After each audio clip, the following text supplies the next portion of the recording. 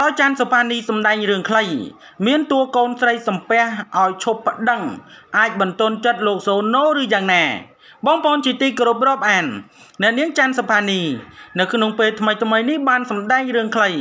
ជាមួយនឹងកូនស្រីរបស់ខ្លួន នៅក្នុងនោះផងដែរកូនស្រីរបស់នាង បានស្នើឲ្យមានការឈប់ប្តឹងអំពីអតីតបរតដែលជាគូស្នេហ៍របស់អ្នកនាងច័ន្ទសុផានីគឺលោកហ្សូណូសូមជម្រាបផងដែរថាលោកហ្សូណូគឺជាតារាចម្រៀងដ៏ល្បីឈ្មោះ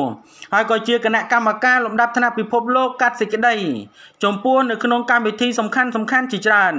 របស់ផលិតកម្មរស្មីហងមា ឥឡូវនៅក្នុងពេលបច្ចុប្បន្ននេះលោកសូណូកំពុងតែមានបញ្ហារឿងចម្រូងចម្រាសគឺរឿងគ្រួសារខ្លួនឯងជាពិសេសរឿងកូនស្រីរបស់លោកតែម្ដង ដែលត្រូវបានអតីតគូស្នេហ៍របស់លោកបានស្នើឲ្យលោកនឹងជួយជាបន្តបន្ទាប់ទោះបីជាលោកបានជួយនៅថវិកាជាច្រើននិងតាំងតែពីរយៈពេលប្រហែលឆ្នាំចុងក្រោយនេះហើយការជួយរបស់លោក Zono នៅពេលកន្លងទៅ គឺដើម្បីឲ្យកូនស្រីជាទីស្រឡាញ់របស់លោកអាចរៀនសូត្របាននៅសាលាល្អល្អថែមទៀតនៅក្នុងនោះផងដែរដូច្នោះកុំឲ្យប្រិយមិត្តរបស់យើងរងចាំយូរសូមមេត្តាជួយ Subscribe និង Like ដើម្បីទទួលបាននូវព័ត៌មានថ្មីៗបន្ថែមទៀតលោកសូណូដែលជាតារាចម្រៀងដ៏ល្បីឈ្មោះរបស់ផលិតកម្មរស្មីហងមាដែលមួយរយៈចុងក្រោយនេះលោកកំពុងតែជួបបញ្ហា យ៉ាងខ្លាំងគឺបញ្ហារឿងចម្រូងចម្រាសជាមួយនឹងអតីតគូស្នេហ៍របស់លោកក្រោយពេលដែលលោកបានរស់នៅជាមួយនឹងអតីតគូស្នេហ៍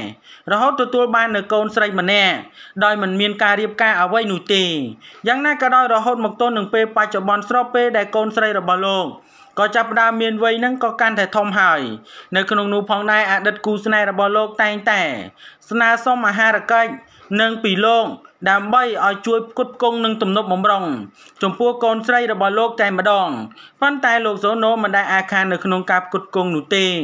រហូតដល់មួយរយៈចុងក្រោយនេះលោកក៏បានបញ្ចេញផុសតាំងជាបន្តបន្ទាប់ដែលធ្វើឲ្យអ្នកប្រើប្រាស់បណ្ដាញទំនាក់ទំនងសង្គមជាច្រើនមានការកោតសរសើរចំពោះលោកឡើងវិញប៉ុន្តែរឿងអ្វីដែលសំខាន់នោះគឺកូនស្រីរបស់លោកសូណូដែលត្រូវបានគេស្គាល់ថាដែលធ្លាប់មានទំនាក់ទំនងស្នេហាជាមួយនឹងអ្នកនាងច័ន្ទសផានីទទួលបានកូនមួយនេះនៅក្នុងនោះខុសផងដែរក៏បានបង្ហាញ នៅសាច់រឿងខ្លីមួយ ដែលមានន័យថារសជាតិជីវិតពិតរបស់ ខ្លួននឹងលោកសូណូដែលទៅតែនៅពេលថ្មីថ្មីនេះដោយចង់បញ្ចប់នៃសាច់រឿងនោះគេបានឃើញតួកូនស្រីច័ន្ទសុផានីបានចេញមុខសំពះដល់លោកឪពុកគឺលោកសូណូឲ្យឈប់ប្តឹងម្ដាយរបស់ខ្លួនច័ន្ទសុផានីប៉ុន្តែយ៉ាងណាគេហាក់បីដូចជាមិនឃើញលោកសូណូខ្វល់ខ្វាយឬឆ្លើយតបអ្វីនោះទេ មានការលើកឡើងបន្ថែមទៀតអំពីសំណាក់មហាជន ថាតើរឿងនេះអាចជាករណីបន្ទន់ចិត្តលោកសូណូបានដែរឬទេខណៈដែលកូនស្រីបានអង្វរកដោយផ្ទាល់បែបនេះ នឹងមិនមានអ្វីប្លែកទេ